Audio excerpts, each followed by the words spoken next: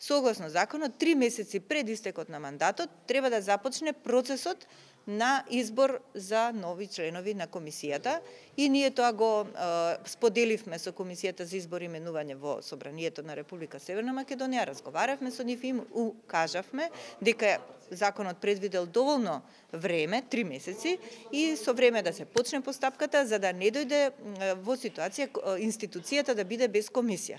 Тоа ќе биде лош сигнал, не само за граѓаните, не само за меѓународната заедница, до, уште повеќе за тоа што следната година се предвидуваат избори.